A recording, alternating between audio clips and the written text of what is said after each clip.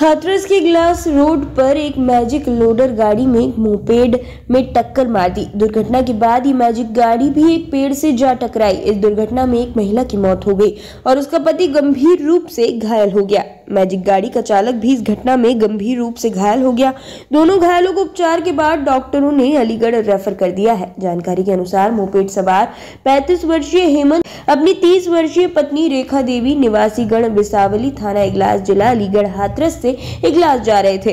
हाथरस के थाना कोतवाली हाथरस गेट क्षेत्र के इगलास रोड स्थित नगला बिछिया के पास मैजिक गाड़ी ने रौन दिया।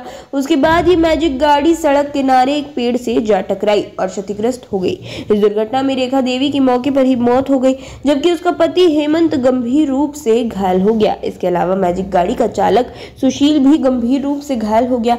कुछ लोग इन तीनों को जिला अस्पताल लेकर आए, वहाँ रेखा देवी को मृत घोषित कर दिया गया। क्या नाम है आपका? रवि दुबे ये घटना कहाँ पर हुई है ये गाँव बिछिया पे। इगलास रोड पे है ये मैजिक था ये लेडी ऑन द स्पॉट खत्म हो गई थी ये विक्की पे थी। लेडी एक जेंट्स। अच्छा। हाँ। तीन जने घायल हुए हैं तीन जने। एक एक रेफर भी कर दिया है? हाँ एक रेफर कर दिया है अलीगढ़ के लिए कहाँ के रहने वाले थे ये बिसावली की बता रहे हैं। बिसौली बिसावली।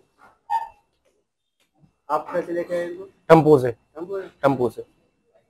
नाम मालूम तो? नहीं नाम नहीं पता। खबर कर दी है? हाँ खबर कर दी है फ़ोन कर दिया परिवार वाले आने वाले हैं।